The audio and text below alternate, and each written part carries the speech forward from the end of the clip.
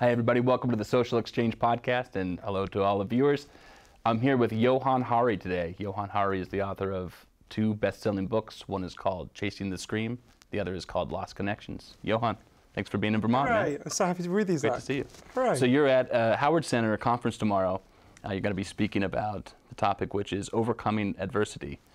Um, both of your books, I think, make you ripe for the picking in terms of talking about that topic. Maybe could you go over just a little bit about um, what Chasing the Scream is and what Lost Connections is? We have, of course, this is I want this to stand alone to people who are listening and who, who have heard both of those talks you and I have done, but maybe a potted summary of both.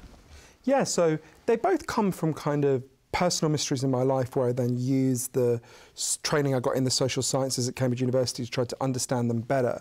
So one of my earliest memories is of trying to wake up one of my relatives and not being able to. And I didn't understand why then because I was a little boy, but I realized as I got older that we had addiction in, in my family.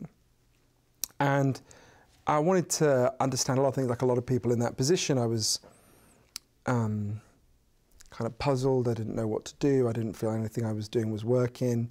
And when I started working on Chasing the Scream, which must be eight years ago now, maybe a little bit more actually, I, um, you know, I, I just wanted to understand a few basic questions like what causes addiction, what can we do to help people with addiction problems, um, where has succeeded, where has failed.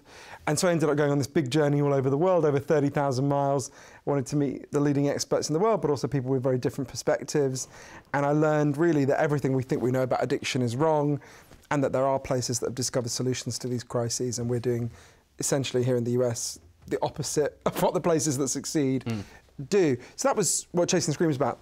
Lost Connections uh, kind of related in some ways. It's, it's, it's about depression. And I wrote it really because there were these two mysteries that were kind of hanging over me, and I, I, I was quite frightened to look into them. The first is I'm 40 years old, and every year that I've been alive, depression and anxiety have increased here in the US Right. and across the Western world. And I wanted to understand why, right? What, why has depression risen so much? And, right? dis- and despite having what we consider sound medical solutions to it. Yeah, exactly. And, and, and, and so I wanted to figure out why so many of us are finding it so much harder to get through the day with each day that passes, with each year that passes. Um, and I want to understand that for a quite personal reason. When I was a teenager, I remember going to my doctor and saying I had this feeling like pain was leaking out of me and I couldn't control it, I couldn't regulate it, I didn't understand it. And my doctor told me a story that I now realise wasn't totally wrong, but was really oversimplified. My doctor said, We know why people feel this way. Sometimes something just goes wrong in people's brains spontaneously. You're clearly one of them. All we need to do is give you these drugs, you're going to be fine. So he gave me an, a chemical antidepressant called Paxil. I felt much better for a few months. Then this feeling of pain came back, so I went back. I kept being given higher and higher doses. And I took the largest dose you can take for 13 years, at the end of which I was still really depressed. So I wanted to understand, well, what's going on here, right? Why am I feeling like this? Why are so many other people feeling like this? Uh, why is this story I've been told that it's just a problem in our brains? Didn't seem to me like that could be true because human brains haven't suddenly, couldn't be the whole truth. Because human brains haven't suddenly evolved in the last 30 years. There must be something else going on. It's tautological to say that everything's happening at the you know at the level of the brain, right? How, how is that helpful? You know, Exactly. It's- Well, it would be like explaining the obesity crisis by talking just about what's going on in people's stomachs. Right. It'd be true, right? Of course, if you become obese or whatever you do, there's something going on in your stomach. not a great predictive model. Exactly. Well, it's really important to understand it. It's a really, it's true. There is something going on in the stomach, but there's you need to look at the things that go into the stomach as well, right? Uh, and the same very similar with, with this. So, so for Lost Connections, again, I ended up going on this very big journey all over the world to try to understand what's going on. And I, and I learned that there's scientific evidence for nine causes of depression and anxiety. Uh, two of them are in our biology, but most of them are actually factors in the way we live.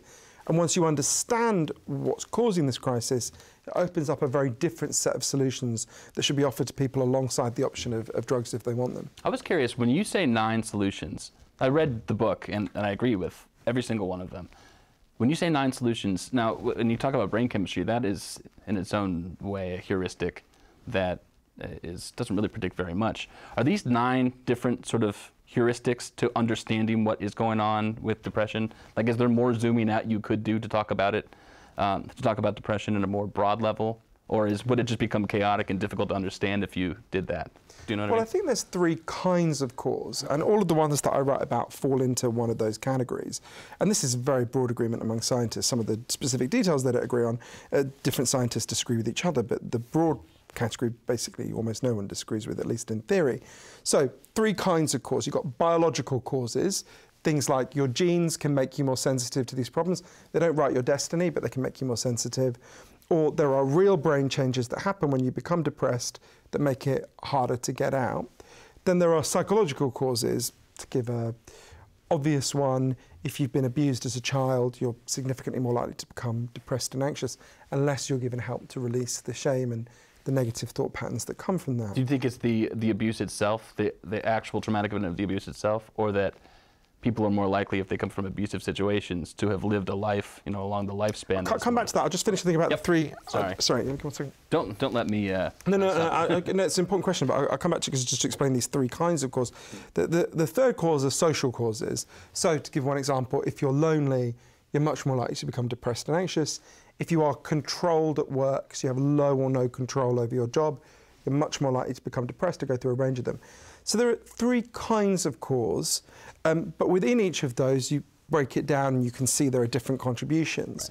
And I think um, these are the nine that I could find evidence for. There will be others that scientists have not yet found proof for.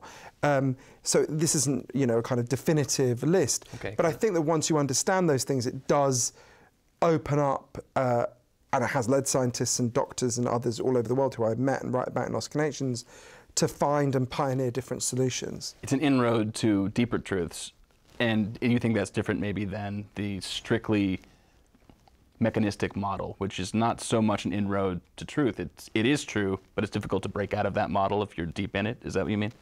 Yeah, if, if you give people an entirely biological story about their pain, Right. it's not that there's no truth in that, there is some truth in it. But if that's all you tell people, then really there's only one solution, which is to drug yourself. The one place to look for a solution. Exactly, and, and that has some value, right? Chemical antidepressants do give some people some relief, but the evidence is.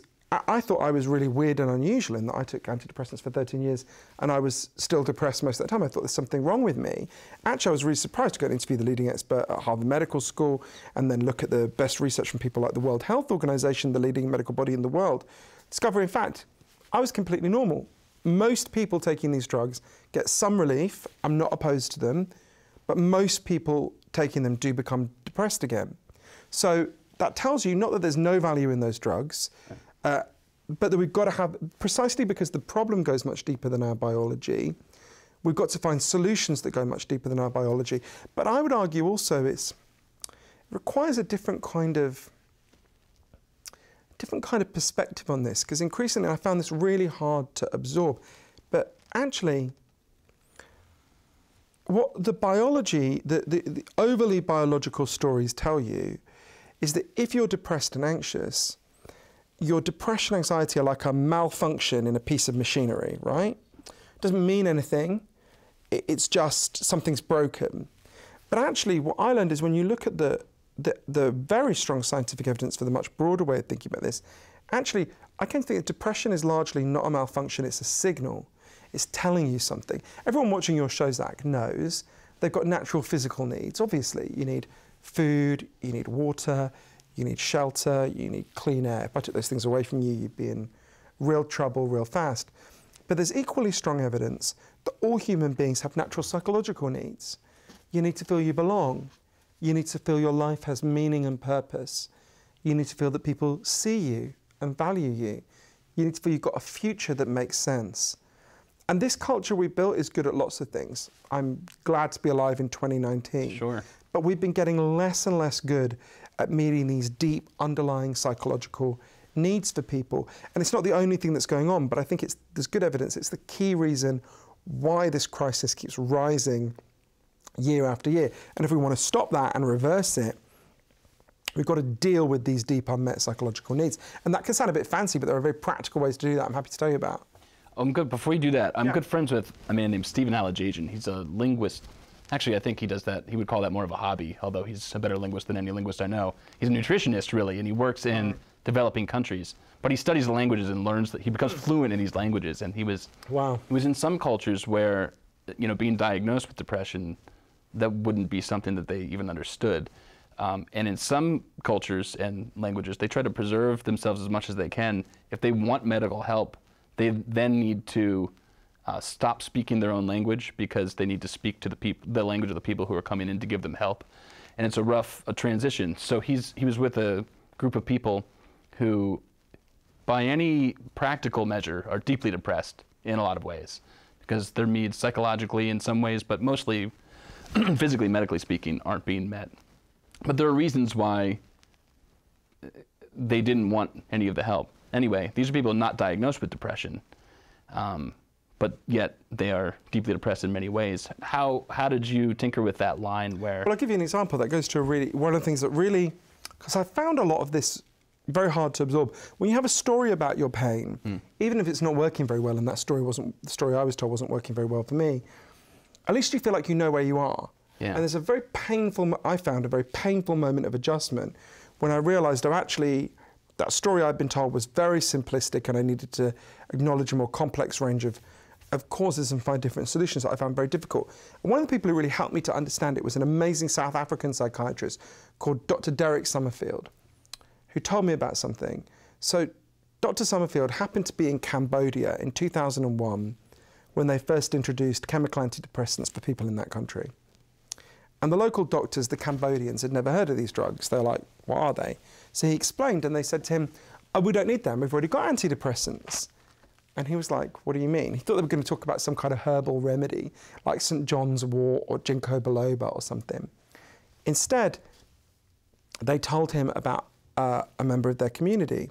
So there was a farmer who lived in one of the places where they were the doctors, who worked in the rice fields, and one day he stood on a landmine left over by the war with the United States, and he got his leg blown off. So they gave him an artificial limb, and he, you know, after a little while, he goes back to work in the rice fields. But apparently, it's really painful to work underwater when you've got an artificial limb. I'm guessing it was pretty traumatic to go back to the field where you got blown up. Mm. The guy started to cry all day. He didn't want to get out of bed. He developed classic depression. That's when the Cambodians said to Dr. Summerfield, Well, this is when we gave him an antidepressant. And Dr. Summerfield said, Well, what? They explained that they went and sat with him. They listened to him. They realized that his pain made sense, that it wasn't just some malfunction in his brain, that it had causes in his life. And one of them figured, you know, if we bought this guy a cow, he could become a dairy farmer he wouldn't be in this position that was screwing him up so much. So they bought him a cow. Within a couple of weeks, his crying stopped. Within a month, his depression was gone. They said to Dr. Summerfield, So you see, doctor, that cow, that was an antidepressant. That's what you mean, right? Now, if you've been raised to think about depression the way we have, that sounds like a bad joke. I went to my doctor for an antidepressant, she gave me a cow. Give me a cow, yeah, yeah. But what those Cambodian doctors knew intuitively is what the leading medical body in the world the World Health Organization has been trying to tell us for years your pain makes sense. If you're depressed, if you're anxious, you're not a machine with broken parts. You're in the main a human being with unmet needs. And what you need is love and practical help to get those deeper needs met. There's couldn't it's like there couldn't be anything more practical or common sense. Do you think that well, I'm interested to know more about those doctors and that they were in fact doctors that thought of that solution, a social solution. It seems like it's not their bailiwick to to give some sort of a social prescription to something. Should it be though? Well, I'll give you an example of it. One of the great heroes of my book, Lost Connections, is an amazing man who really has been absorbing these insights into Western medicine. Mm, so his name yeah. is yeah, he's great. He's called Dr. Sam Everington.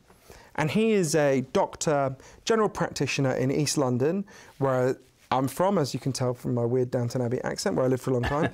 and um, so Sam was just treating ordinary patients like any normal doctor, and he was really uncomfortable because he had loads of patients coming to him with depression and anxiety. And like me, he's not opposed to chemical antidepressants. He thinks they have some role to play. But he could see a couple of things. Firstly, the people who were coming to him were depressed and anxious for perfectly understandable reasons, like they were really lonely. Um, also, um, he could see that most of the people he was giving chemical antidepressants to got a bit of relief but remained basically depressed. So he started thinking, well, what, what can we do here? One day, a patient came to see him called Lisa Cunningham, who I got to know well later, who'd been shut away in her home with just terrible depression and anxiety for seven years. And Sam said to Lisa, Don't worry, I'll carry on giving you these drugs, but I'm also going to prescribe something else. There was an area behind the suite of doctors' offices that was just like scrubland where dogs would go and mess, right? And Sam said to Lisa, What I'd like you to do is come and turn out a couple of times a week. I'm going to come too because I've been pretty anxious. We're going to meet on this scrubland. What I'd like you to do, we're going to meet with a group of other depressed and anxious people, and together we're going to figure figure out something to do together, so we won't be lonely and we won't feel that life is meaningless. Uh, the first time the group met, Lisa was literally physically sick with anxiety. She just couldn't bear it. But the group starts talking and they're like, okay, what can we do? These are inner city East London people. They don't know anything about gardening. They were like, okay, why don't we, uh, why don't we learn about gardening? Why don't we turn this into a garden? They started to watch YouTube videos, they started to read books, they started to get their fingers in the soil. They started to learn the rhythms of the seasons. There's a lot of evidence that exposure to the natural world is a really powerful antidepressant. But they started to do something even more important. They started to form a tribe. They started to form a group. They started to care about each other. If one didn't show up, everyone else would be like, hey, are you okay? Do you, do you need any help? The, the way Lisa put it to me, as the garden began to bloom, we began to bloom. There was a study in Norway of a very similar program that found it was more than twice as effective as chemical antidepressants. I think for a kind of obvious reason, right? It was dealing with some of the reasons why they were depressed and anxious in the first place. And this is something I saw all over the world, from Sydney to San Francisco to Sao Paulo. The best strategies for dealing with depression and anxiety are the ones that deal with the reasons why we feel this way in the first place. But to get to that, you have to explain to people you're not crazy to feel this way. You're not weak. It's, this is not a sign of madness. Actually, this is, this is uh, you, you are reacting perfectly understandably to a culture that doesn't meet your needs. You know, the Bengali writer Krishnamurti said, it's no sign of good health to be well adjusted to a sick society. Mm. How do we get out of our own way? I mean, it's like there are a couple different reasons why I think we're in our own way. Um, on one hand, it's become labels in and of themselves about why we're having difficulty, and especially medical ones, have almost have become so ubiquitous that on one hand, it's you have a sense that you are unique, and on the other, your group, it, the, your tribe that you may want to form, if that's what you're missing, is made up of other people who are ostensibly uniquely sick. Um, and then on the other hand, we are in a, a really individualistic society that seems like we can't take a step forward in terms of making sense of how to form social groups that would make us well and, and thrive. So yeah, I can give you I can give you a kind of fancy abstract answer, but I actually think the best answer people want to hear. Yeah, I actually think the best answer comes from a group of people that I got to know in the course of writing Lost Connections. You know, obviously I learned a lot from doctors and scientists in the whole process of writing the book. I think people who taught me most were these people who are not doctors and scientists at all. So I'll just tell you the story of who they were. So in the summer of 2011, a Turkish-German woman in Berlin called Nuria Cengiz climbed out of her wheelchair and put a sign in her window. Uh, the sign said, she lived on the ground floor, and the sign said something like, I got a notice saying I'm going to be evicted from my home next Thursday, so on Wednesday night, I'm going to kill myself. Hmm. Now, Nuria lived in a big anonymous housing project in Berlin, like an anonymous housing project anywhere here in the US, um, where no one really knew each other. It was actually been a very poor, it's called Kotti, this neighborhood, very poor neighborhood. Um, it, basically, only three groups of people who lived there recent Muslim immigrants like this woman Nuria, uh, gay men, and punk squatters. And as you can imagine, these three groups did not get along and no one really knew anyone. Mm. So people are walking past Nuria's window, they see this sign and they're like, oh, they start to knock on the door. They're like, do you, do you need any help? And Nuria just said, screw you, I don't want any help, and shut the door in their faces. So people start talking, and this is a housing project where rents have been going up for everyone, right? So lots of people were being evicted, lots of people identified with Nuria. And, and they're talking, they're like, well, we can't leave this woman to kill herself, but what, no one knew her, what, they're like, what do we do? And, and, and, they start talking, and one of them just had an idea. There's a big thoroughfare that goes through this housing project, through Kotti, into the centre of Berlin. And one of them just said, you know, if on Saturday we blocked the road for a day and we protested, um, you know, the media will probably come and cover it. There'll be a bit of a fuss. They'll, probably let this woman stay in her home. Why don't, why don't we try it? There might even be a bit of pressure to keep our rents down, right? So it gets to the Saturday and they block the road, they block the street. And Nuria's like, I'm going to kill myself. I might as well let them push me into the middle of the road. They wheel Nuria out, and the media come, and she does these slightly bemused interviews, and lots of people talk about how they're really worried about their rents going up. Mm. And then it gets to the end of the day. It's a bit of a news story in Berlin that day. It gets to the end of the day, and the police are like, okay, everyone, you've had your fun, take it down. But the people who live in Kotti are like, well, hang on, you haven't told Nuria she gets to stay. Actually, we want a rent freeze for our entire housing project. When we get that, then we'll take this down. But of course, they knew the minute they left the barricade, the little makeshift barricade they'd made, the police would just come and, and tear it down, and that would be that. So one of my favourite people at, at Kotti, a person called Tanya Gartner, who wears, she's one of the punk squatters. She wears tiny little mini skirts, even in Berlin winter. She's quite hardcore. um, she, she, had an idea. Uh, she explained to everyone that in her apartment she had a klaxon, you know, those things that make really loud noises at soccer matches.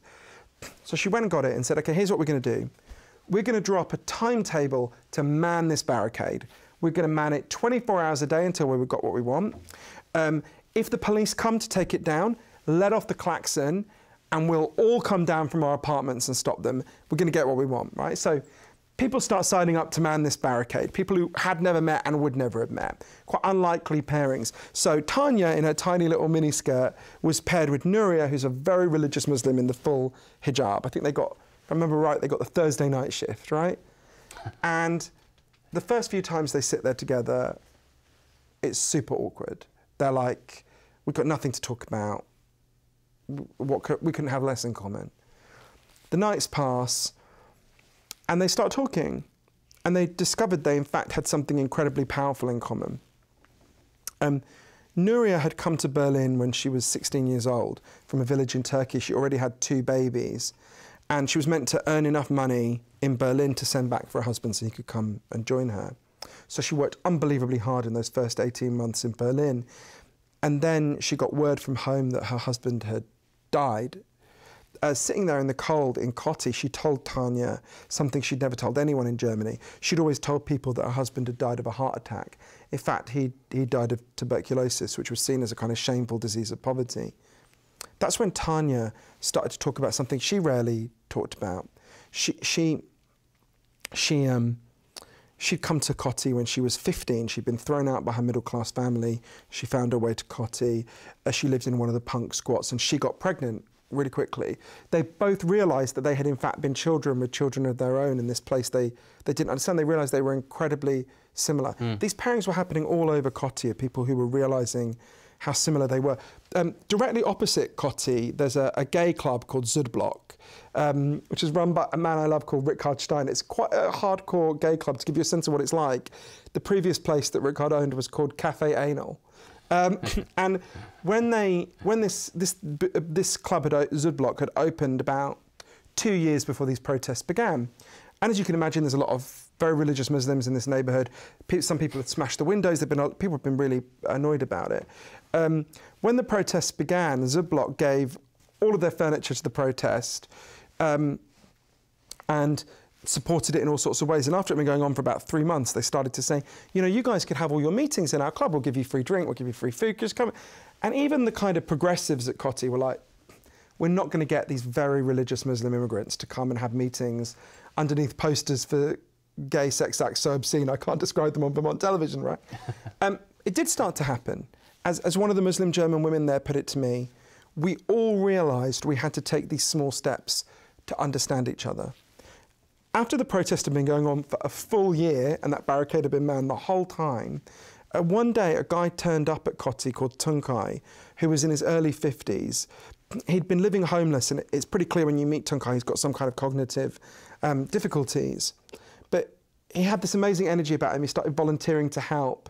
Um, and by this time, the barricade they'd built was, because a lot of them are construction workers, literally a permanent structure in the middle of the street, right? Uh, with a roof and everything. And after a little while, everyone liked Tunkai. They said to him, you know, you should, we don't want you to be homeless. You should come and live in this thing we've built, right? Uh, so Tunkai went to live in that, that, that little building they'd made, and he became a much loved part of the Kotti protest. Mm. And after he'd been there for about nine months, one day the police came they would do this every now and then to like inspect. And they were looking around, and, and Tunkai doesn't like it when people argue. He, he thought the police were arguing, so he went to try to hug one of the police officers, and they thought he was attacking them. So they arrested him. That was when it was discovered that Tunkai had been, Tunkai had been detained in a psychiatric hospital for 20 years. He'd escaped one day, he'd been living on the streets for a few months and found his way to Kotti. Mm. So they took him back to this psychiatric hospital right the other side of Berlin. And he was put back literally in a padded cell. Um, at which point, the entire Kotti protest movement turned into a kind of free Tunkai movement, right? They descend on this psychiatric hospital. And these psychiatrists, these German psychiatrists, are like, what is this? They've got this person they've had shut away for 20 years, and suddenly they have these women in hijabs, these very camp gay men, and these punks demanding his release. And they're completely baffled. But I remember Uli Hartmann, one of the protesters, saying to them, Yeah, but you don't love him. He doesn't belong with you. We love him. He belongs with us. Many things happened at Kotti. Uh, they got Tunkai back. It took a while, but he lives there still. Um, they got a rent freeze for their entire housing project. Um, they then launched a referendum initiative to get rents held down across Berlin. It got the largest number of written signatures in the history of the city of Berlin. But I remember the last time I saw Nuria, she said to me, You know, look, it's great I got to stay in my neighbourhood. I'm really glad. But I gained so much more than that. I was surrounded by these incredible people all along, and I would never have known. Um, Did you feel like you were at like Burning Man or like a music festival or something like that? But it, was, sound- it- if you imagine like a, more, a, a, organically burn, a Burning Man that that that endures much longer, right? Mm. And, and and and to me, with a distinct purpose. yeah, I think so. I, I remember thinking, you know, when Tunkai, when I was thinking about Tunkai being taken away, thinking, how many of us, if someone carried us away, would have, like, a whole movement of people Yeah, saying, no, we look after this person, right? We love and value this person. And I remember one of the Turkish German women um, there, Neriman Tanker, her name is, said to me that when she grew up in Turkey, she grew up in a village, right? And she called her whole village home. And then she came to live in, in the Western world and she learned that what we're meant to call home is just our four walls. And then she said, this whole movement happened. And I started to think of this whole place and all these people as my home. And she said she realized, in some sense, in this culture, we are homeless, right? You have a need for a home. And the, the, the, the concept of home we have is too small, too cramped, too narrow to meet the need we have to belong. And I remember uh, Tanya, who, who'd been one of the people who'd started all this, sitting with her outside Südblock, that gay club, one day, and her saying to me, You know, when you, when you I can't say the word she said, when, when you feel like crap and you're all alone um, and you're home, you think there's something wrong with you. But what we did is we came out of our corner crying and we started to fight. And we realized we were surrounded by people who felt the same way. And to me, I think this is the best answer to your question, which is you can do a kind of fancy abstract question, talk about individualism, and yeah, I'm very happy to talk about all of that. But to me, the most important thing is, well, if you're feeling this way, if you're feeling this lack of your psychological needs being met, just remember you are surrounded by people who feel the same way. Mm-hmm. And it takes someone like Nuria, unintentionally in Nuria's case, to start that, to, to, to sound the alarm signal and explain to people, you know, let, let out the distress signal. And people heard it and met it. And I think you can tell I love these people in Kotti, but in many ways they're not exceptional. They're completely random people who just happen to live on a housing project, right? Uh, and had the courage to, to stand up. And I think um, th- this, this hunger, my book is called Lost Connections because I feel we have lost our connections to some of the most profound and important things in life. And we need a process of reconnection and home building. So the only thing, and there's lots of other things I talk about in the book. Obviously, it's just a small part of it. But but but I do think we.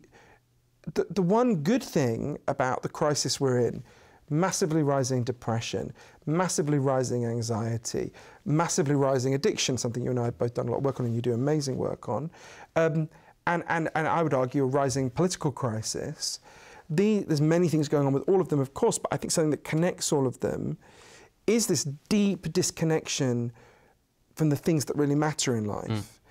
And, and, and we can answer those needs. We can rebuild them. And I go through lots of practical things that we can do as individuals, as communities, and as a society.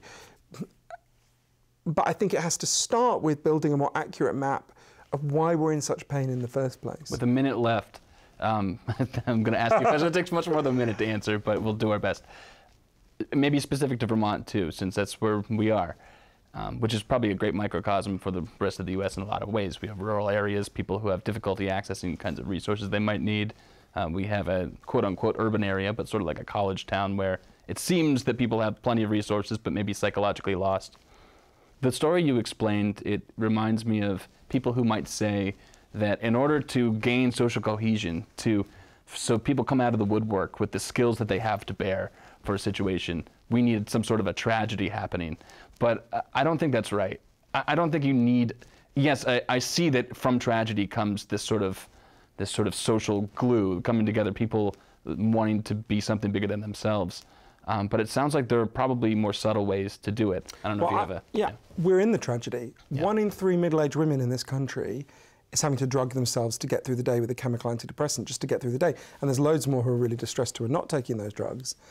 The tragedy's happened. We can have a debate about do you need a tragedy or not, but we're in the middle of the tragedy, right? right it's like right. asking at the end of Romeo and Juliet, do we need a tragedy? Well. Yet somehow our spider senses aren't uh, completely activated. Tingling, but not completely activated. Well, I like, think partly because we have told these very simplistic diversionary stories. Not that there's no truth in them, there's some truth in them. Yeah. But if what we've done is you've got this enormous amount of distress in the society, we've just said to everyone, oh, it's just a problem in each individual's brain. Right, right. Right? That, you can see how that's not the intention of people who say it, of course, who are decent people, but that diverts us away from seeing this is not a crisis in each isolated individual. This is a crisis in the way we're living in the society, and we have to deal with it at that level. People, and there's loads of practical things we can do to do that.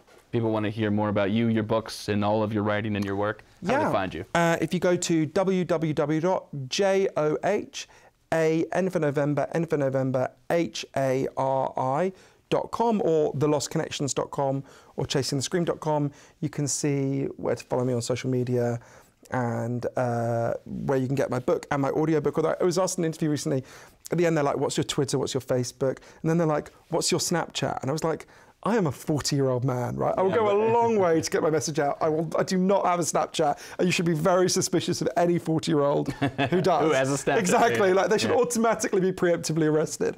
But, um, but yeah, so anyway, that's where people can find out about me. Thank you so much. Oh, we've had like two hours before to talk, and that it never feels like enough time. So 30 minutes is completely unserious. thank you for everything you do, Zach. You do brilliant work. Thank you so much. Thank you very much. Thanks for coming to Vermont. Thank you to CCTV, uh, Channel 17, and the Howard Center, where Johann will be speaking tomorrow.